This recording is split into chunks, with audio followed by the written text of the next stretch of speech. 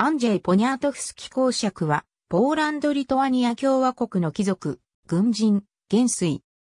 アンジェイは、クラックフ城伯、スタニスワフ・ポニャトフスキ伯爵と、チャルトリスキ公爵家出身のコンスタンツィアの間に、生まれた息子の一人で、ポーランド最後の国王となったスタニスワフ・アグスト、ポニャトフスキの弟、ポーランドの軍事的英雄ユゼフ、アントニ・ポニャトフスキの父にあたる。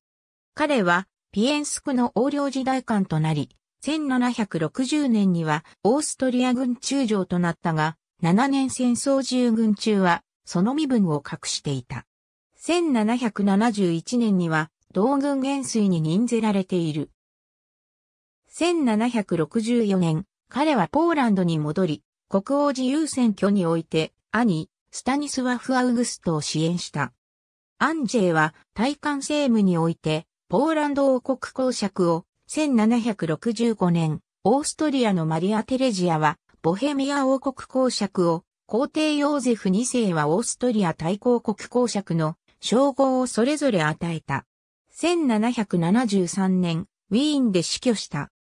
妻のマリア・テレサ・フォンキンスキーとの間に一男一女を設けた。ありがとうございます。